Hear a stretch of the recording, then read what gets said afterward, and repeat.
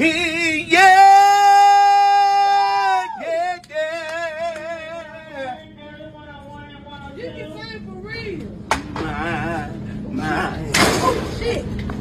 The practice of the silence is correct breathing.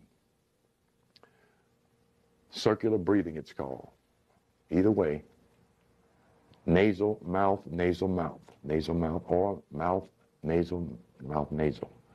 It regulates your energy. It synchronizes your energy and it changes your rhythm. Okay? Because the whole body breathes. And as you regulate your breathing, as you control your breathing, you control your energy. You control your thoughts.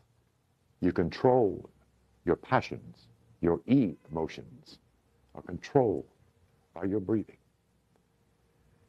So before somebody make you mad, who happens to be your master, of course, at that time, doesn't matter if it's that big, that big, or that big, or that big. Anybody who controls your feelings, your passions, your emotions, that person, thing, object, or child is your master.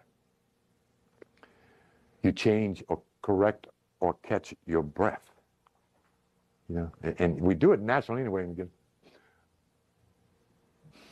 You know, before you would go off. okay.